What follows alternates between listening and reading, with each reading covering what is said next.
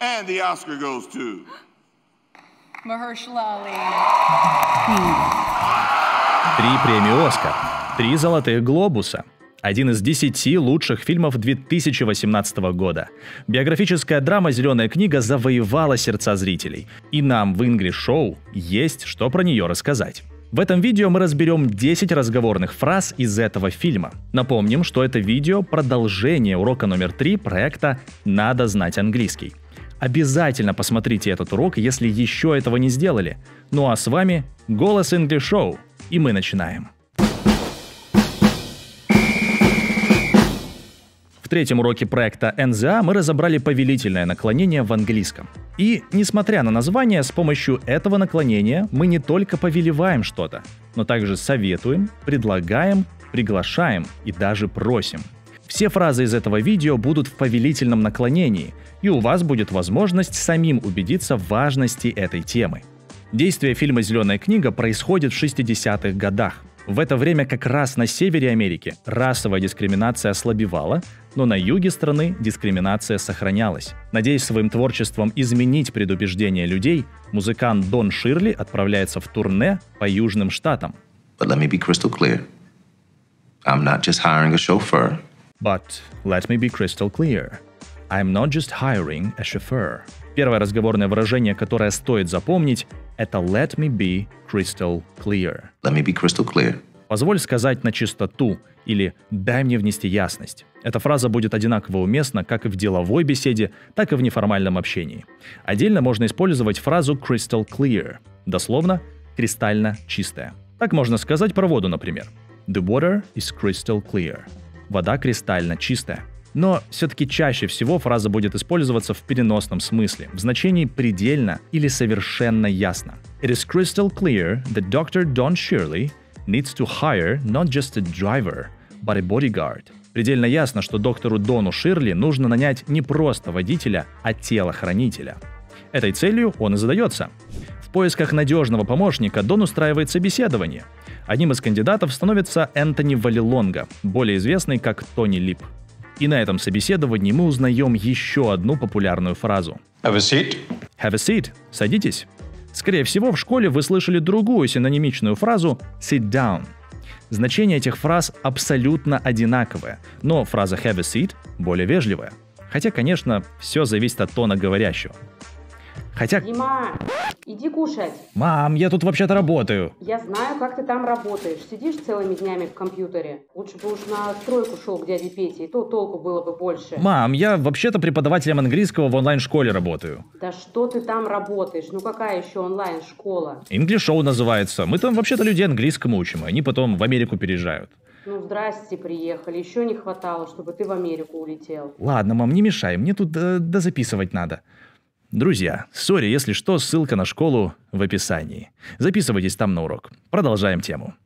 Тони Лип – бывший вышибала ночного клуба в Нью-Йорке. И в эпизоде, когда он выполняет свою работу, мы встречаем целых две интересные фразы. Do yourself a favor, go home with your friends. You don't tell me where to go. Do yourself a favor. Go home with your friends. You don't tell me where to go. Фраза «do yourself a favor» Do yourself a favor, переводится как «сделай себе одолжение» или «окажи себе услугу». Также можно поменять местоимение и получить «do me a favor» – «сделай мне одолжение», «окажи мне услугу». В ответ на эту вежливую просьбу Тони посетитель сказал «You don't tell me where to go» You don't tell me where to go. – «Не говори мне, куда идти». И тут запоминаем фразу на случай важных переговоров. You don't tell me или просто don't tell me.